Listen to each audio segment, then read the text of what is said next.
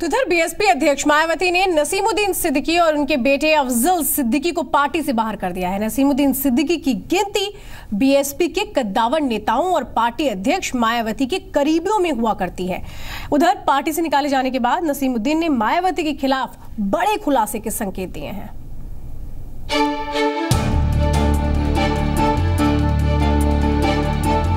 लंबे वक्त तक बीएसपी अध्यक्ष मायावती के करीबी रहे और बीएसपी के अल्पसंख्यक चेहरे के तौर पर पहचाने जाने वाले नसीमुद्दीन सिद्दीकी को बीएसपी से बाहर कर दिया गया है। नसीमुद्दीन सिद्दीकी के साथ उनके बेटे अफजल सिद्दीकी की भी बीएसपी से छुट्टी कर दी गई है। नसीमुद्दीन और उनके बेटे को बीएसपी के खिलाफ काम करने और पार्टी के नाम पर लोगों से पैसे लेने के आरोप में पार्टी से निकाला गया है।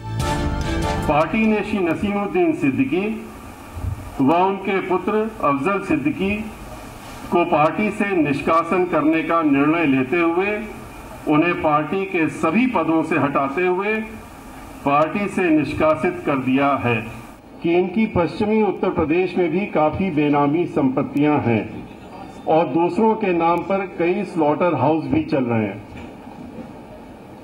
और जिन पर इन्होंने चुनाव के नज़दीक कुछ आर्थिक तौर पर मज़बूत लोगों से यह कहकर उनसे पैसा लेकर लगा लगा दिया कि उत्तर प्रदेश में बीएसपी की सरकार बनने वाली है। उधर बीएसपी से निकाले जाने के बाद नसीमुद्दीन सिद्दीकी ने मायावती के खिलाफ बड़े खुलासे के संकेत दिए नसीमुद्दीन ने आरोप लगाया कि पैसों की डिमांड पूरा नहीं करने के कारण उन्हें पार्टी से निकाला गया।